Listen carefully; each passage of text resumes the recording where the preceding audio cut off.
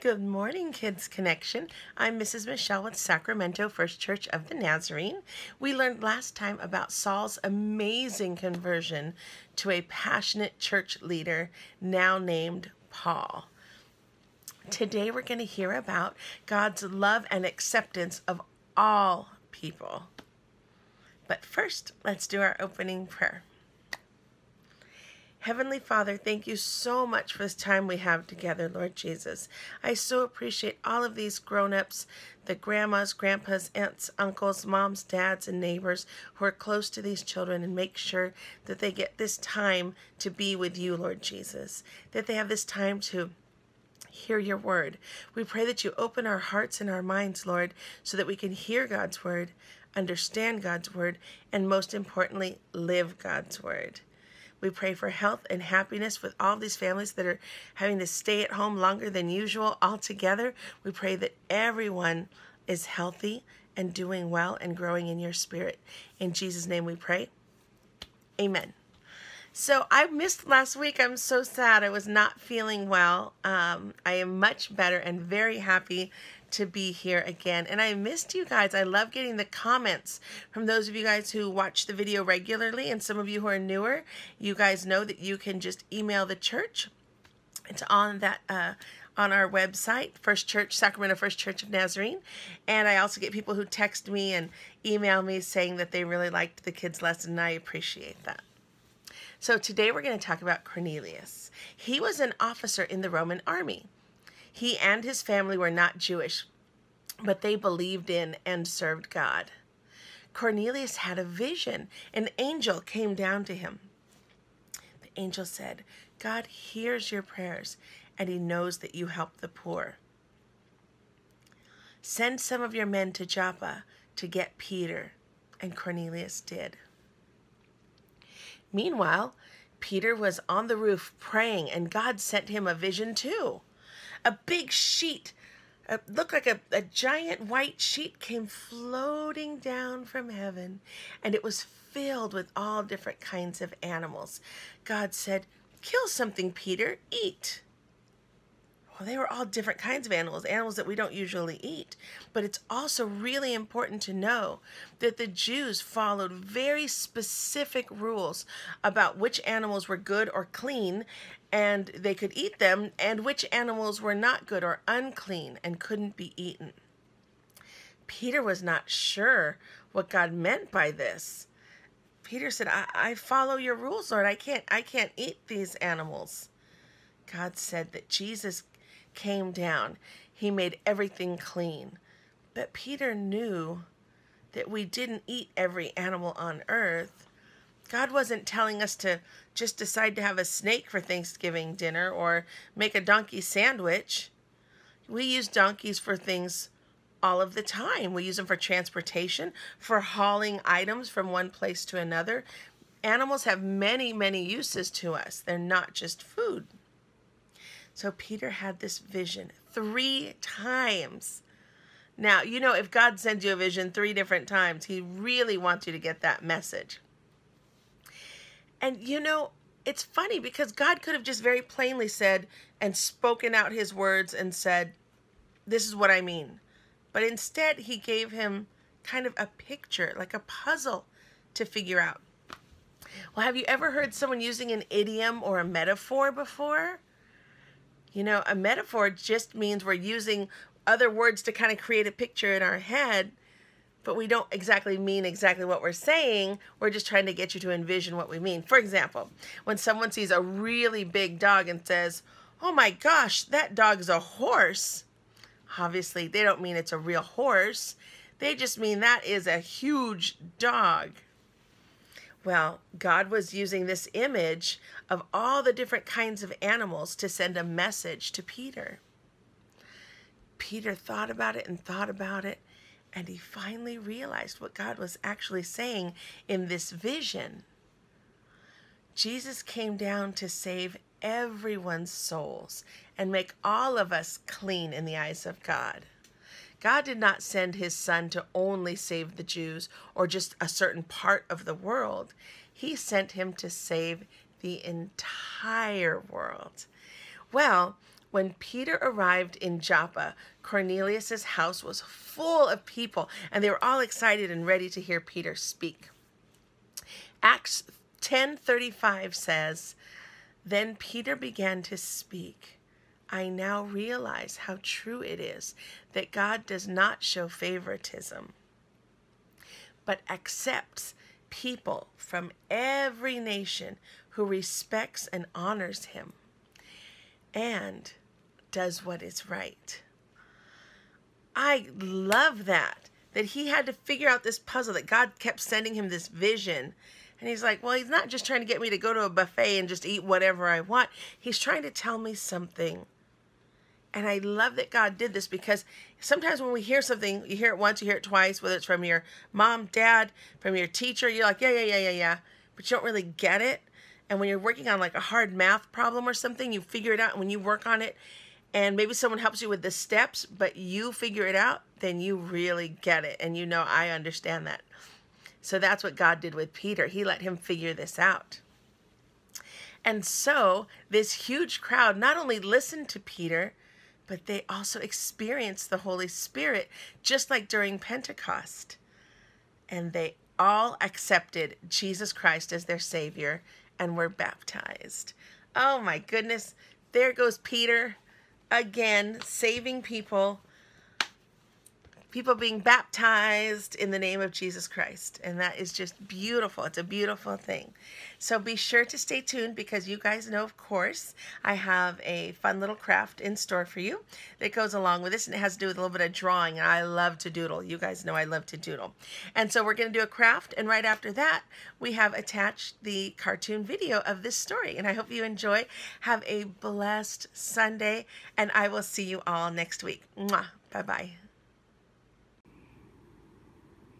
Good afternoon, Kids Connection. I am ready to make our craft that goes along with our lesson that talks about the vision that God sent Peter three times. You're just going to need something to color with. I chose colored pencils today, a little scissors, um, some string, and either tape or you can even use glue stick. I've got a little mini stapler here, and that's what I decided to use today. So, of course, you know I love our recycled paper. This is more of my um, little sheet separators that I'm going to use. And let me show you. We are making the sheet that floated down from heaven in Peter's vision. Now, what is this missing? Can you guys tell me? That's right. It's missing a lot of animals and lots of different kinds of animals. So we're going to do that today. Let's get started. I'm just using this pencil to get us going. You guys can do this. This is just a little square of note paper. Let me show you what I did here. I took a little square of note paper and all I did was take the corners and pinch them together. I pinched them together and when I pinched them, I stapled a string in there. I used a dark string so you could see it in our video, but if you've got light blue or white so it looks like it's coming down from heaven and it's right just blending into the sky, you can do that. That's all I did was pinch those four little corners and um, attach the string. And again, you can use tape or glue. I used staples. And so now we're going to take that little sheet that we made and fill it with some animals. So I've got some scratch paper ready and I've got my pencil ready. And again, this is easy breezy, lemon squeezy. Kids, you're to hear adults say, I can't draw. I don't, you know, I don't draw either, but I love to doodle. And so as long as we can see what it is we made, that's all that counts. It's always perfect in God's eyes. So let's start with a cute little mouse. So I'm to go ahead and help you make a circle we're going to make it end up looking kind of like a sideways teardrop like this. So you can do a light little circle. And remember, it's okay if you make mistakes. If you go out of the lines, we have an eraser, so we're not worried about it. And then now that we've got our little chunky little circle, we're going to make the ear that's facing the other way here. And we're going to move back just a little bit.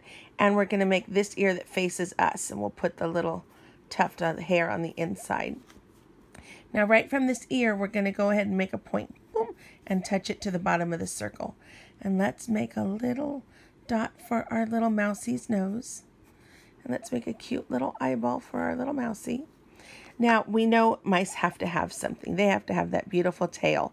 So I'm going to go like this and make a big curly tail. And some of you might say, yay, you're finished. And someone might say, um, Mrs. Michelle, this mouse doesn't have legs. So this is easy. You know how to make the numeral 2. So we're going to take and make a big 2 right here. And that's the hind leg. And we'll put little toes on it, on that foot. And then we're going to make a little 2 here and another little 2 here. And you can put some little toes on it. And that is our cutie patootie mouse. And you can finish off his back and his underbelly. You can darken it in a little bit. You can shade it. I love using shading. You can shade your little mouse. I can, I'm going to shade this because this is the ear that's facing the other way. So it's the same color as his body. And there's our mouse. And you know, it's really difficult to cut out this little animal with the little whiskers and that tail. So easy breezy, lemon squeezy. I like to just go loosely all around. That's how I'm going to cut out my mouse, okay? And let's get some other animals in here. Let's see. You know what I'd like to do? That's a cute little mouse. Let's do a monkey. So I am going to start with just a circle. Again, super easy shapes. Just going to make a little circle like that. And then we're going to make a big C here for this ear and a big backward C for this ear. And let's make little tiny C's inside to complete the monkey's ear. I like giving monkeys a little tuft of hair on top. Now we're going to take and we're going to make the eyes right in the middle of the ear. If we line them up there, it looks really, really cute. So we're going to do that. And then I am going to go ahead and make the nose. And that's going to start at the bottom of the ear that we made. And it's going to be a little bit like a tiny triangle, like that. Then I'm going to take and make a little stick down here and a nice big smile for our monkey. And you might say, that's really cute and it's got monkey ears, but it doesn't look exactly like a monkey. And you're right, we are missing his little shadow, right? So we're going to start in between the eyes, but up high.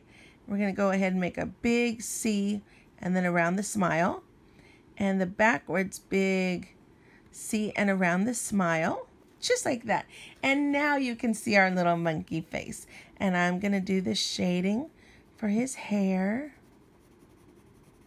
And I'm going to shade the outside of the ears and the outside of this ear. I think that's a cute, cute little monkey. So we've got our monkey. There's lots of other animals we can do. You know what? Let's do a piggy. I think that would be really cute to add in here. We're going to do a piggy. And so here we use a circle here we use a circle to start with. This one is going to be more like a square, but we're just going to round the edges. So just like it's super easy, easy, a lemon squeezy, just like a, a kind of a rectangle, looks like a marshmallow, right? And all I did was kind of round off the sides instead of making it square. And to make this little piggy face, kind of in the middle while I make his cute little piggy eyes, like so. And then down here, closer to the bottom, we're going to make the snout. We're just going to do a little, same thing, like a rectangle, but with rounded edges. So a little oval for the snout. And we'll do the little dots for the nose, for the nostrils, right? That's right, little piggies there.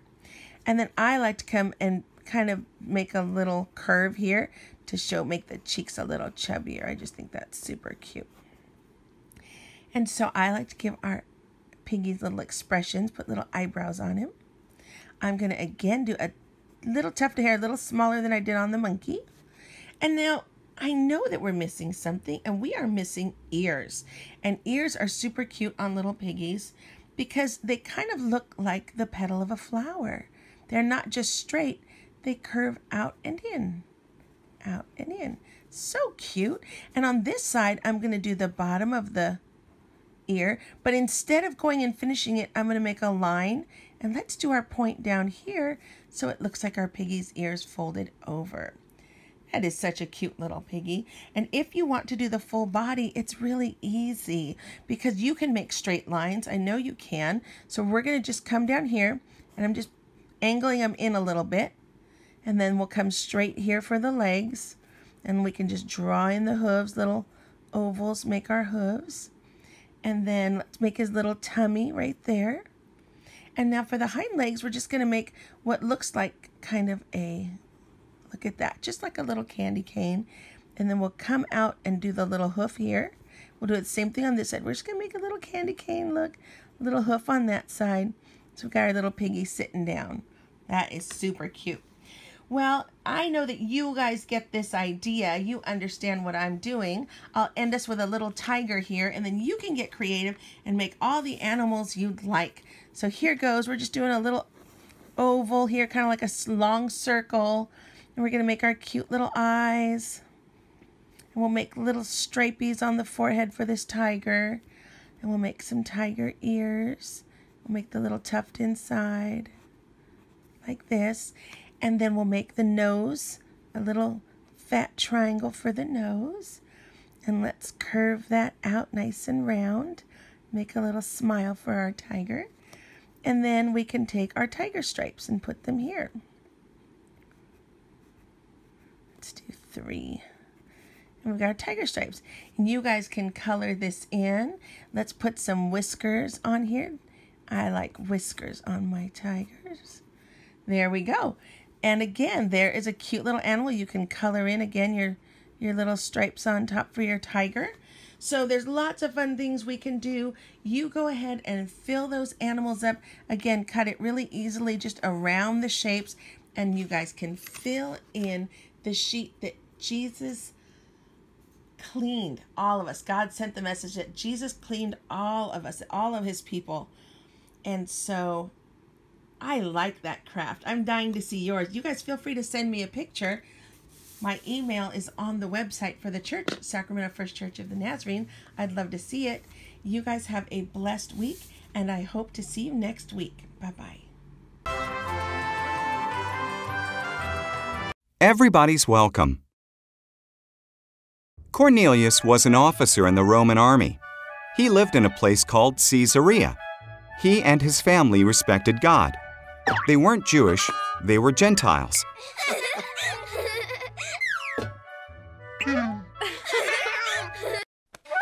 Cornelius had a vision. An angel told him, God hears your prayers and knows that you help the poor. Send men to Joppa to bring Peter here. So Cornelius did. Ah. In Joppa the next day, Peter was on the roof praying. In a vision, a huge sheet came from heaven. It was filled with animals. A voice said, Kill something, Peter. Eat.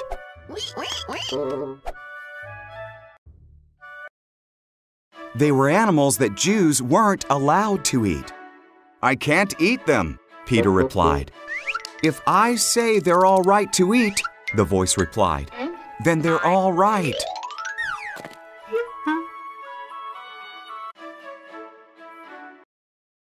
That's when Cornelius's messengers arrived.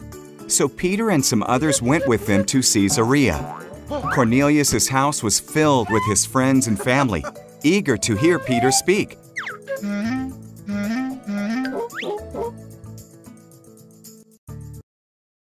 God showed me, in a vision, that He accepts people from every nation. God sent Jesus to everyone. He is Lord of all. He healed the sick and freed the oppressed.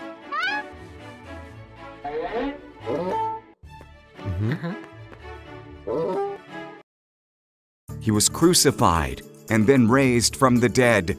Everyone who believes in him will be forgiven of their sins. The Holy Spirit came upon them, just like Pentecost. Peter baptized them.